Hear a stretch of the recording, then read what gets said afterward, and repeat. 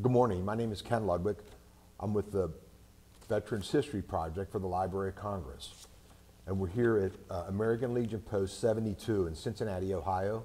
Uh, today is September 9th, 19, or I'm, uh, 2014. Um, and I'm delighted to be able to introduce uh, Mr. Dennis Schone, um, who is a World War II veteran. Uh, and I'm proud to say he's also an Elder alumni. Um, so, Mr. Schone, welcome and good morning to you, sir. Thank you, Ken. It's good to have you here. Thank you. Kind of like to start out by asking you a little family background uh, about your mom and dad, brothers and sisters, where you grew up, educational background, stuff like that. So, if you could start with that, I, I'd appreciate it. Okay, good. I was born in uh, Cheviot, Ohio, uh, in uh, October 28, 1921. I was also raised in Cheviot. Uh, I attended uh, St. Martin's Elementary School uh, and uh, graduated from that school in 1935 and then attended Elder High School and graduated in 1939. Uh, from 1939 until I uh, was drafted into the Army, I guess my first job was uh, with a photo developing company down on State Avenue. I think it was uh, owned and operated by the Kroger Company. Uh, I worked there, uh, well, summers while I was in high school, and then after I graduated, uh, I worked that summer also. And it was just a place they employed uh, young people during the, sun, or during the summer uh, vacations. So from there, I, I uh, worked for a photo developing company, made photostats, that sort of thing. Uh, I don't know how long I was there, but uh, probably um, maybe a year, year and a half. And from there, I, um, I uh, took a job with a grocery comp, uh, grocery store out in uh, Westwood, and uh, I delivered groceries, worked in the store, and then uh, Delivered groceries. I delivered groceries. yes. I think we're starting to get back to that now. Oh yeah. But, Anyhow, um, I guess things started to heat up uh, in Germany, and uh, I took a job at the Wright Aeronautical Corporation. Uh, I was uh, operating a internal grinder.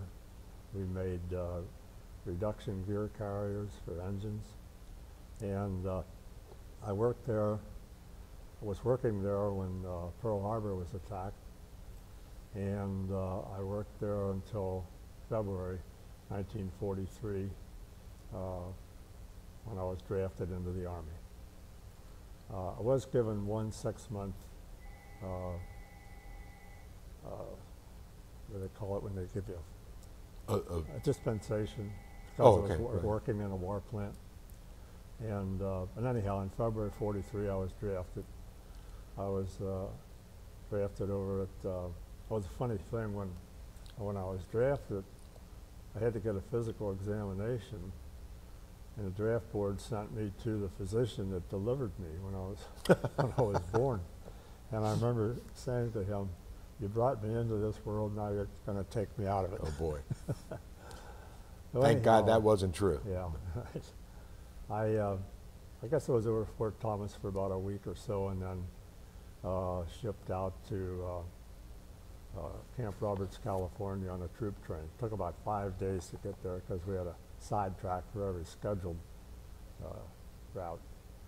And uh, before we left Fort Thomas, I was, we were given all the shots, typhoid, tetanus, and so forth. And I was feverish all the way out on the train. So fir- first thing I did when I got to uh, Camp Roberts, went to the dispensary to get some aspirin for my fever. And it was 100.6. And they told me, you're going to the hospital. And I said, what for? All I want is some aspirin for my fever. We have a rule on the base, if your temperature's over 100, you go to the hospital. So I went to the hospital, I was in there about six weeks. Oh, my Not because of the fever, but because I contracted bronchitis from either somebody else or while I was in the hospital. As a result, I missed about the first six weeks of my basic training. So after I got out of the hospital and went back to my unit, first they were going to uh, require me to start over, take my basic training over. But then I went on to, to finish the training and uh, I was uh, shipped out to, uh, it was in Oakland where we left, a base in Oakland, and uh, put on a ship headed for I did not know where until we were out to sea about two days and they told us we were on our way to Australia. So we got to uh, Australia, Brisbane, and uh, we were at a replacement camp there for a few days, and they loaded us on a truck with our full gear, and I thought, I'm on my way to New Guinea. I don't even know how to fire this rifle. I'm a dead duck. so it turned out uh, they sent me to uh, a uh, headquarters unit, which was General MacArthur's headquarters. So I was in Australia, Brisbane. Uh, my job was a company clerk, and I was there from February of 43 until January of 45. And most of the time, I just worked at the uh, uh, the office there, you know. And uh, from uh, January 45, then I was uh, assigned to uh, Philippines. But we stopped over at Hollandia for about a month. And uh, from there we went up to uh, Tolosa, Tacloban on the island of Leyte. And was there about uh, three or four weeks. And then finally uh, shipped up to Manila. And I was there about eight months. Uh, during the time uh, of my job as a company clerk, I was uh, promoted to, well, I started out as private, obviously, then corporal and sergeant, and staff sergeant. I was a uh, supply sergeant uh, in the Philippines. Well, I think before I left Australia too. I'm not sure, but anyhow, that was the highest rank that I achieved, staff sergeant. So when you say supply sergeant, was that uh, replenishing, you know, uniforms Yeah, or? that sort of thing. uh, yeah. equipment, you know, light equipment. Okay, any combat-related stuff, guys coming in and going out? No, no, Oh. not really. No. Um, I had a unique experience. I think when I was in uh, Manila, uh, when they dropped the bomb on Hiroshima. Um, another GI and I were assigned to a project uh, about 10 miles outside of Manila. There was a four-story apartment building. The name of it was Rosario Apartments. I'll never forget that. And the uh, Japanese Marines occupied that. But before they were driven out, they blew up, blew up the top floor, all the windows. The building was a mess. So the other GI and I were assigned to uh, fix that building up with the help of about 10 Filipinos. And that's what we were doing when they dropped the bomb. Oh, they were going to billet high-ranking officers in this building when it was completed. So since the, the bomb was dropped, they decided not to do that. Instead, uh, we housed uh, delegates from all, all of our allies who were going to meet there prior to the signing of the surrender terms Wow. on the USS Missouri in Tokyo Bay. And uh, that also included about a dozen Japanese officers. And uh, I recall one evening, uh, uh, we were in the lobby of this apartment building, and one of the young Japanese officers uh, took one of our GIs, who was a Japanese, uh, American Japan, American of Japanese descent, took him over to the side, and they were talking, and I, after they finished, I, I asked this guy on our outfit, I said, what was he telling me? He says, just told me that uh, they considered me a traitor because, you know, he was of Japanese descent. Yeah. So anyhow, uh, the next day they all left for uh, the signing of the surrender terms. I guess uh, I was in August, so it took from August to December to be uh, discharged. As a matter of fact, when they dropped the bomb, I had my orders to go to Japan, but that was canceled too. So um, And what would, what would those orders have been for to go to Japan? I mean, Tokyo, I was going to Tokyo. before they dropped the bomb? Yeah. Obviously, Oh, right. yeah, right, yeah. And after they dropped the bomb, that was canceled. So were they planning an invasion there? I have no idea. Okay. So from August until December, we were just waiting to be discharged, and they were discharging you by points at that time. Mhm. You got so many points for every month in the service, every month overseas, any kind of decorations. So I was uh, in uh, December 20, maybe 20th or 21st, I was on my way to Seattle. Uh, and then from there I went to Camp Atterbury and was discharged there, Okay. December 20. I noticed on your biography form, um, uh, you were there for the Philippine liberation. Yeah. Um, I don't remember anything about that really.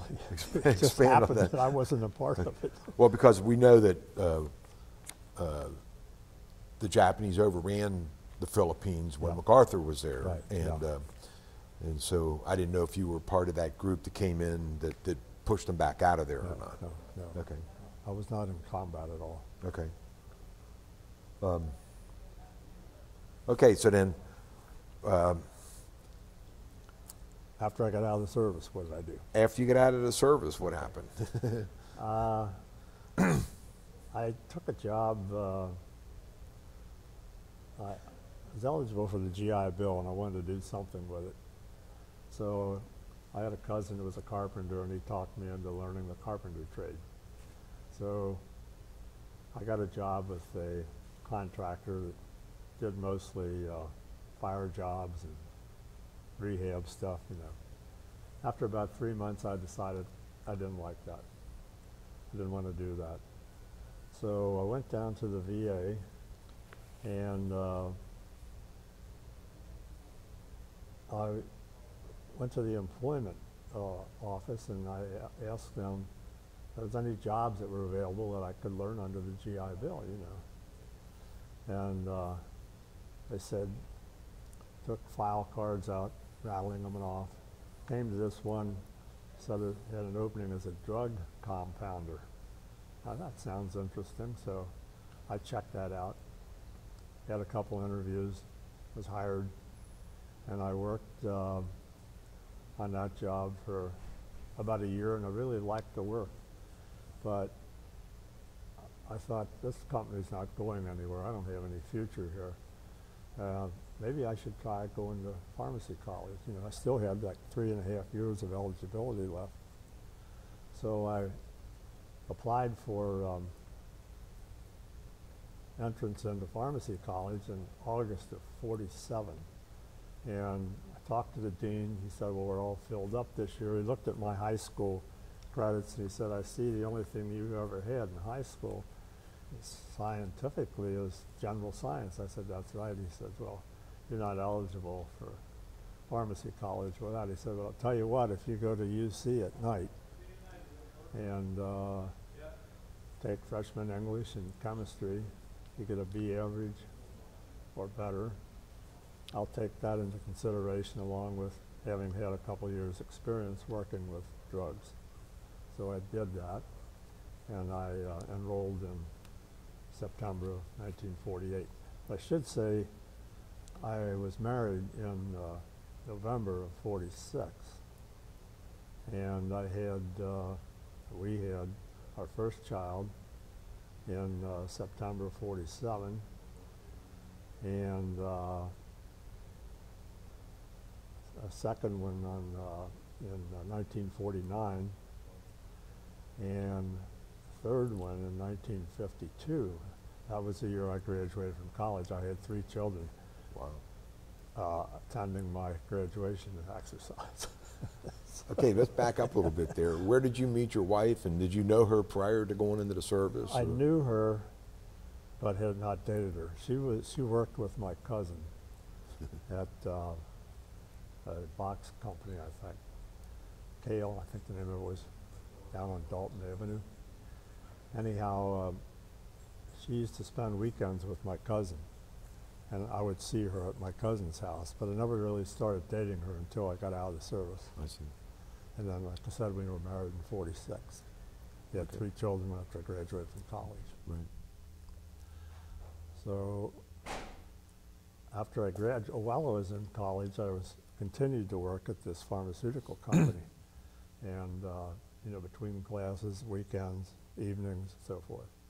So after I graduated, I was hired full time as a production manager, and I worked there. That was in 1940 or 52. Uh, there were several changes of ownership. I think from 1950, uh,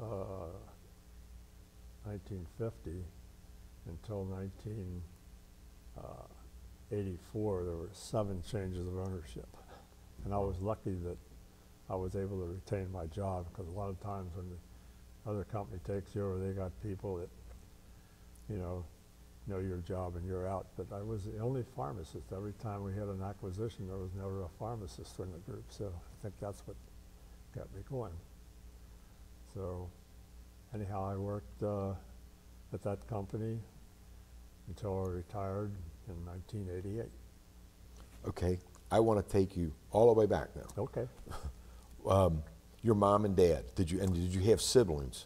Yes, I had. Well, what did your dad do for a living? My dad was a draftsman at William Powell Company. Oh, Yeah. sure. And uh, of course, my mother, mothers didn't work back in those days. Right. Uh, she was a house, housewife, stay-at-home mom. Yes. Yeah, and uh, I had one sis, oh, one older sister, two younger sisters, and a younger brother. Okay. And anything you want to know about that? Well, well, leading up, leading up to the war, Mhm. you know, there were all sorts of uh, job things that other people were doing. There were any of your family involved in any of that? Were they preparing for the war or supporting the war? Like your Uh, dad, if he was a, uh, a Drafts- this draftsman, no, he- Powell Valve must have Yeah. had some. He still continued to work there. I don't know if they were doing any government work Yeah, that's what I was during that period at, or yeah. not. As far as I know, he was still doing the same thing they always did. Okay. Okay. So And then, okay, now, um, now what what do your children do? Are they all still local or? no, I did I mention? Yeah, I mentioned I had four children. Okay, two of them live out of town. One in Chicago. Son lives in Chicago. Youngest daughter lives in New York, and uh, the other two daughters live uh, locally here in town. Okay. Um, I have 11 grandchildren, six great grandchildren. uh, else but while we're on that subject. More interesting. You your stationed in Australia. Mm -hmm. So you were Falk but What was some of the office duties you were doing? What was what was what was going on in Australia? When I was there, not much as far as the war goes. I mean, uh, all the uh, most of the men were uh, uh over in New York uh, European theater in Africa, and uh, were a lot of girls. Well, I guess, were you working on a base that, that was a US base or was an Australian base? Where, where were you working when you were in Australia? What was it? where were you- actually, they were billeting us in an old winery. It's about four stories high, and uh, the mess hall was uh, like on the third floor, if I recall, and the other three floors were just billeting, you know, where we slept and had our bunks. And that was right in downtown Brisbane, about three or four blocks from where MacArthur's office was. Was MacArthur there at the same time you were in Yeah, Australia? yes, he was, yeah. I guess you never saw him though, I did. I saw, him. in fact, one of the guys in our outfit was his driver. do you have a, a- can you, do you have a memory you can tell us about him? Yeah, only that I would just see him once in a while uh, with uh, the guy in our outfit driving him around Brisbane. Uh, That's about closest contact I had. I'm trying to get my brain around where he was at or why he was there during that time of the war. Um, Was that before the think he- Philippine push or was that afterwards? Before the what? Philippines, where he, when MacArthur. Yeah, I think he had to leave the Philippines because the Japanese, he Oh, he did, to yeah. leave the Philippines and I think he was in Australia. Yeah, he and his wife and his young son, Arthur MacArthur, were shipped down to Australia. And it was in Brisbane, I think, where he, you know, set up his headquarters. I guess he was. I didn't think- I don't thi- planning- I don't- battles and, and, uh, down in that area. No, like I said, before I got there, the Japanese were on the northern coast of Australia. And uh, probably uh, they were still there when MacArthur first got there. But then it was his job to drive them out and up to New, up to New Guinea and from New Guinea to Philippines. And See, I can't say that I ever remember hearing that MacArthur was there to confront the Japanese in Australia. I, di- I guess I didn't know that. yeah, I think he was, yeah. Okay. I never hear much about Australia. I was just curious of what was going on. Mm-hmm. Right. I guess you were just at a safe base to move, to, you know, to start counter, the start the counterattack against Japan, I guess. Yeah, probably, yeah. Um, but were there, were there much with Australian troops? We would see a few of them maybe home on leave, and that was it. Hmm. So there was I mostly think they were- American They were troops? engaged mostly in the European theater. Yeah. But the, the troops that were there, were they, were they guys that were, uh, preparing to go to some of the islands in the Pacific, you think? I really don't know. Yeah. I know they used to call them diggers. That was a nickname for an Australian soldier, a digger. They had all kinds of expressions in Australia. Yeah. So how long, you were in uh, Australia for how long? From uh, August of 43, I might have said February before. It was an, I landed there in August of 43 and left in January of 45. And then you went to the Philippines. I was on my way up to the Philippines by way of New Guinea, So, oh, so you were in New Guinea for a while too? just for about six weeks, What were you doing there? waiting to go to Australia, or waiting to go to Go the to Philippines. Philippines. And what were your impressions of New Guinea? Do you have any memories of the natives or uh, w- living conditions or? Never really saw a lot of them. Uh, I had had pictures that uh, a friend of mine that I met in Australia from home, quite accidentally. Mhm. He was in New Guinea, and uh, when we uh, got up to New Guinea, I connected with him again. He just uh, showed me some pictures he had of New Guinea natives, you know, but never really saw. We were pretty confined to our area. We couldn't roam about very much. We were just waiting to go to Philippines, you Were know. they making you do stuff when you were in New Guinea? Did you have certain duties or anything? Not you much. just- Played a lot of cards, I know that. We were just, just Just waiting. occupying New Guinea at that point? Oh, the Americans were at that point, yeah, yeah. Well, I was just wondering, when you got to the Philippines, and you were talking about that building, but did you see a lot of damage in the, in Philippines? Yeah, I did. I saw a lot of body parts in the street, stuff like that. Yeah. Uh, there How was- did you get to the Philippines? Was it by shi by ship? Ship, yeah. Okay, yeah. How long did that take? Uh, see, I remember we left, uh, we left New Guinea, uh, in April. And I think, uh, we were up there in a matter of, uh, a week or so. And what kind of ship was that? The one from, uh, New Guinea to, uh, the Philippines was a, uh, it was a landing craft, it was a big one. I forget what they call it, L something. Mm-hmm. Okay. Uh, from uh, Australia to New Guinea, we flew in a in a, uh,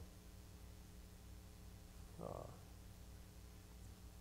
a seaplane. And Oh. and then from uh, uh, that was Port Moresby.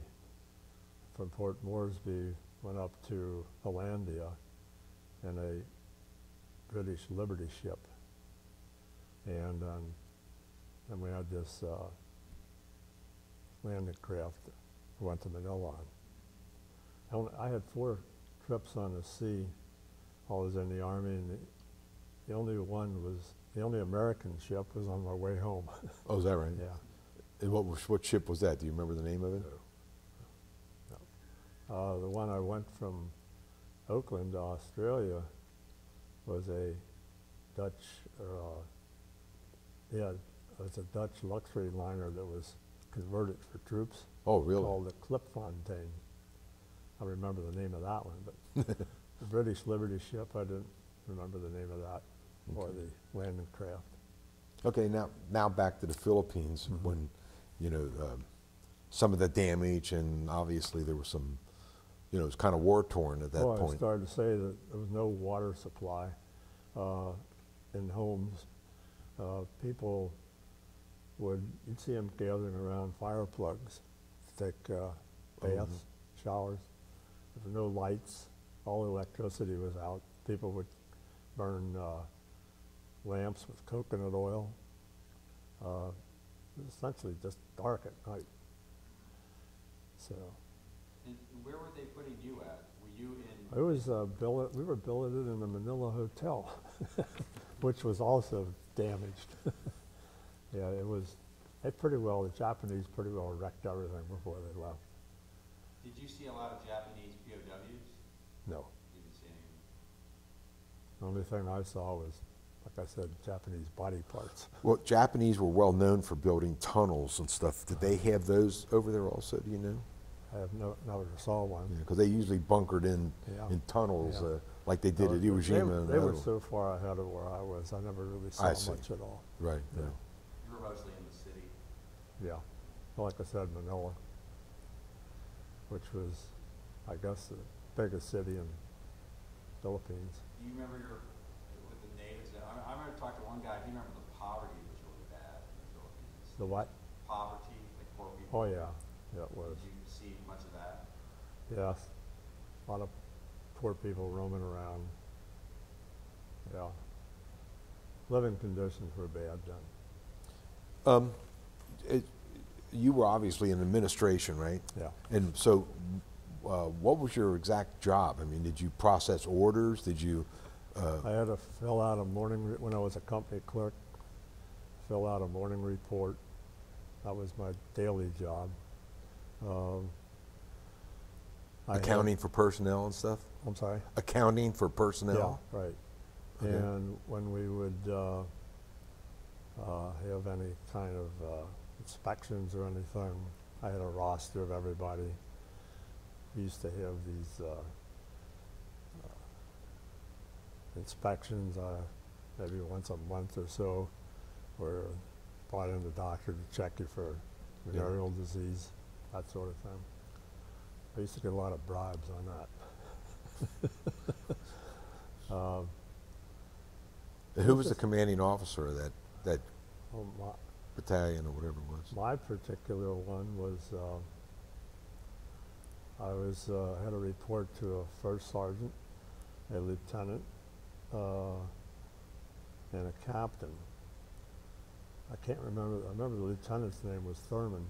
Can't remember the captain's name, but uh, we were, when we were stationed in Brisbane, we heard so much about Sydney. We all wanted to go to Sydney for a furlough. I mean, getting a furlough home was out of the question unless you had an Sure. immediate death in the family.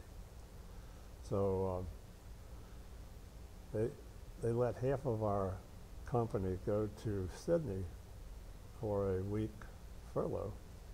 And they were having so much fun down there that they applied to the Red Cross for an extension.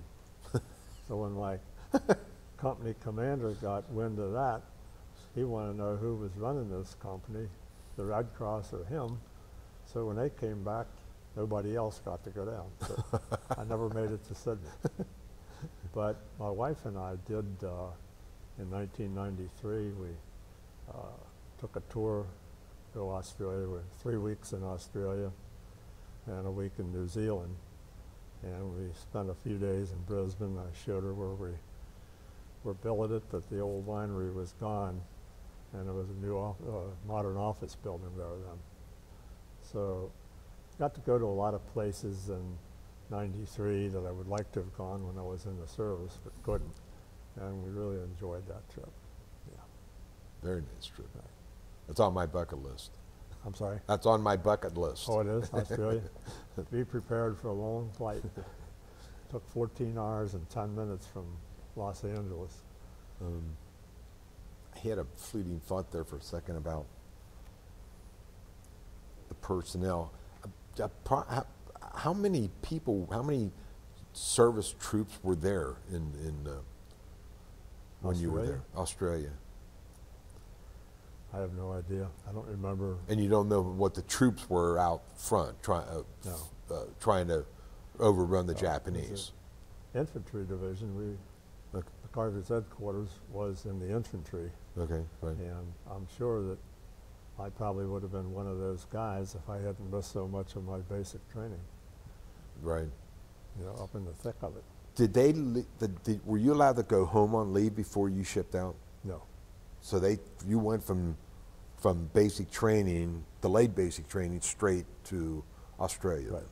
then? I, when I came home in December of 45 was the first time I was there since February of 43. Wow, okay. Yeah.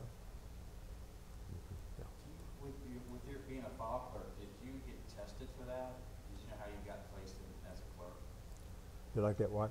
Did you get a- tested or anything for that? No. How did you get placed in that job? Did you know how I to fight think, I think uh, they just figured that I missed too much uh, training, that I didn't have much of a shot in combat. So they gave me a, essentially, it was an office job, desk job. You know. Somebody had to do that too, so Well, that's exactly right. Everybody had a part in the war, Right, and yeah. everybody had a support part. So Right. th- those were all important jobs. Yeah. Uh, right. So, How are we on time? We're good. Um, is there anything else you'd like to add? well, I can't uh, think of anything. I think I covered pretty much everything I can remember. Well, I had, I had a question. Sure. One of the, one of the questions we asked is, uh, do you remember, you mentioned it, but I was wondering maybe you could give a little more detail. Where were you when you heard about uh, Pearl Harbor being attacked? Do you remember what you were doing? and- Yeah, I was, uh. I was on my way to Wright Aeronautical Corporation to work. We were working seven days a week then. So I got in a car, we had a carpool, and uh, I got in the car. One of the guys in the carpool said, they bombed Pearl Harbor this morning. That's the first I heard of it then. Wow. And uh, of course, when we got to uh, the plant, we used to bring our lunch. We had to inspect our lunch boxes.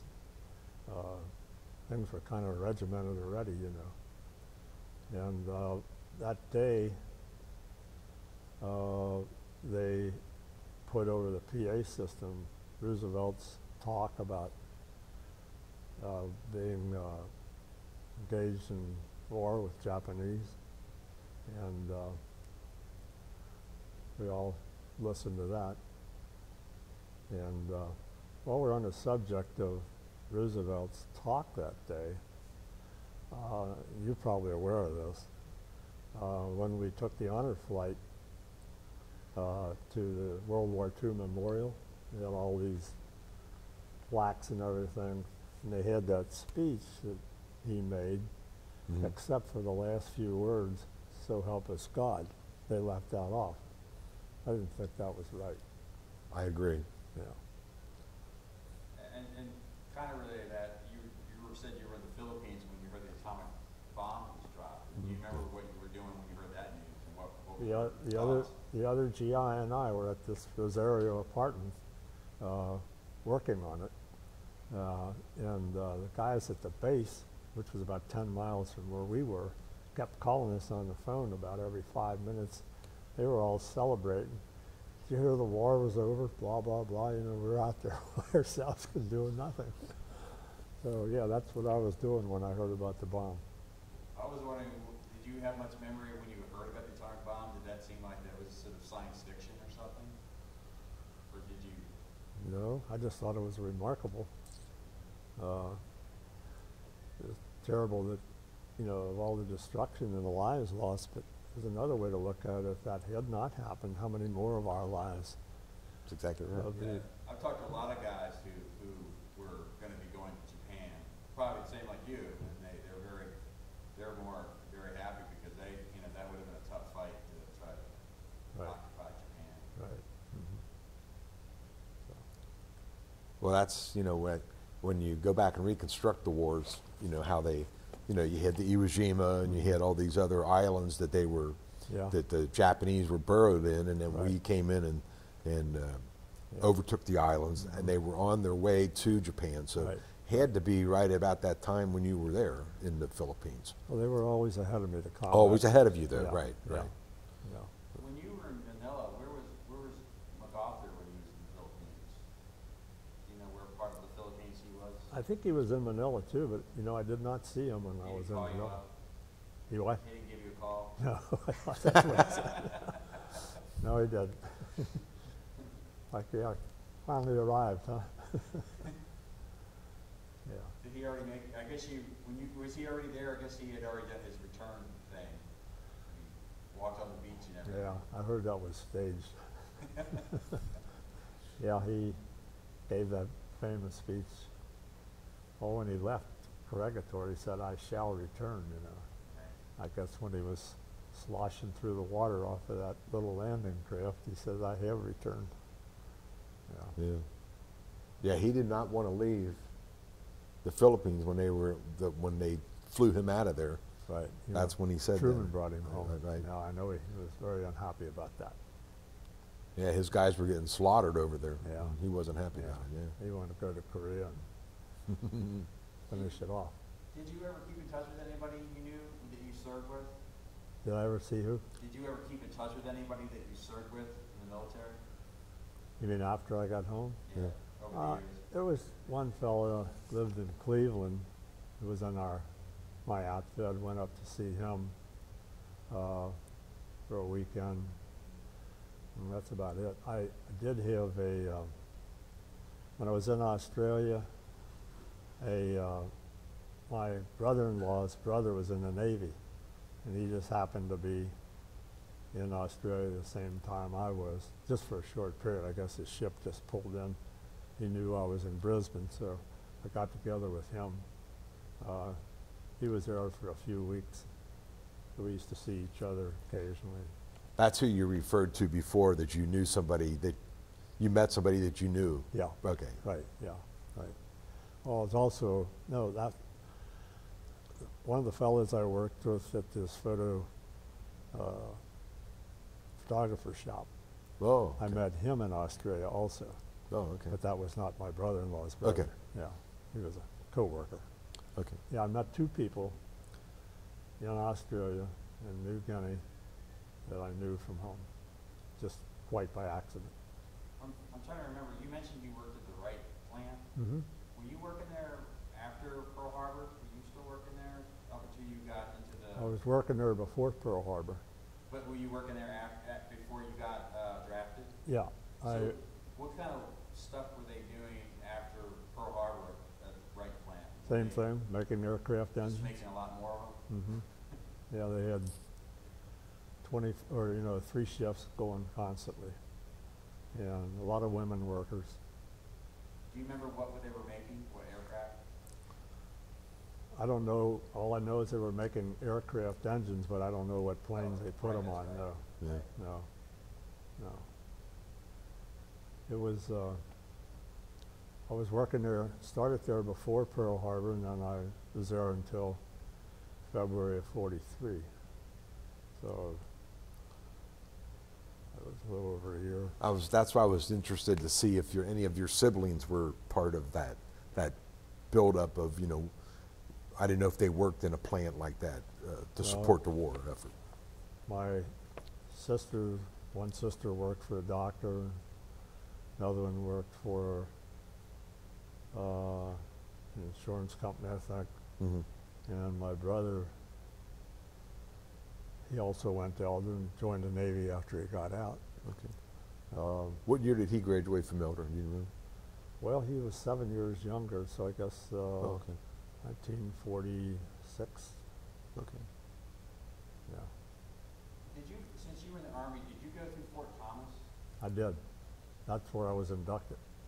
What was Fort Thomas, do you remember your, any memories of, of what that was like? I mean, I don't know if you've been over there since, No. much different. All I remember is getting up very early in the morning and standing around waiting for breakfast. But I guess you They did- you were only there for a couple of days. I Oh guess. yeah, just a few days. I was. We were allowed to go home in the evening. You come- just showed up come to, back. to Yeah, do paperwork, yeah. Yeah, just maybe just waiting to be assigned. That's all. and then they, you left them there by train from Fort Thomas? You think? You remember? From Fort Thomas, What did you report to next after Fort Thomas, what was the next step? After I reported. Yeah. Oh yeah, we boarded a train to go out to California. Did the train leave from Fort Thomas? Yes. Yeah. Hmm. Not, not Union Station then, or, Good have. yeah. There was a lot of buzzing going on at Union Oh, yeah, Station right. at that time. A lot of people leaving, some coming home. Yeah, I think we did take off from Union Station. Did they stop along the way? Was this Yeah, a every- three, three day, or how long did it take to Took, get to took, California? took five days to get out there because we had to stop for scheduled uh, trains. Oh, right, that's right. They Yeah. wouldn't let you guys even get priority, right? They- They wouldn't what? You didn't have priority. No, we didn't. No, Yeah, no. that's right, I heard that. Yeah, you know, we were sit, we were sitting in a coach for five days, and as far as sleeping, all you could do is maybe lean back a little bit. You know, wasn't a very good experience, being Ooh. feverish and everything. You know, Oh, yeah. But were you, you, were you given any kind of uniform at Fort Thomas? we were we were issued winter uh, khakis. You know, Okay. what they call as gray, uh, the color of our uniforms. Not not the summer ones, the uh, winter wool ones. Yeah, I know, I know what you're referring to. I can't remember the name, they had a name for them. Yeah, Utilities. yeah, no, it wasn't utility. It was olive drab, that's what it was. That- oh, okay, right. But I guess you never had to use winter stuff where you were going in Australia. Nope, Brisbane, the temperature in Brisbane was about like Miami, Florida. It was on the same, uh, what would you call that, latitude south of, of the, uh, equator as Miami was north. Yeah, I'm not sure exactly where that is in Australia. Is that because it was like? It's it on the east coast. Is it on the coast? Is it kind of, But Most everything was on the east coast in Australia. right? Um, a lot of outback there. Country, size of the country in square miles is about the same as the United States. But the occupa- the uh, population of Australia, when I was there, was equivalent to about the population in New York City. Maybe s- Wow. Yeah. Very undeveloped Then. a lot of outback, And yeah, the, and the inland's all yeah, desert. yeah. Wow. One of the- Well, one- I'm just wondering why, why were you stationed in that part of Australia? Was there some strategic reason? Just because it was? Well, I think because it was mostly inhabited on the East Coast, you know. Um, when we crossed the equator, we had to go through an initiation process. Got all of my hair shaved off, for one thing. Some guys had to take bites of raw fish and dunk them in, in a tank of water. I thought that this Navy guys did that. I didn't know they did that. The Navy Army guys did it to the Army guys. we were on a troop ship. yeah, Yeah, that's funny. yeah. Well, I think I'm done with my Okay, well, once again, uh, Mr. Schone, we'd like to thank you very much for sharing your memories with us, and uh, we appreciate it. Glad to do You that. take care of yourself. Thank you. I will.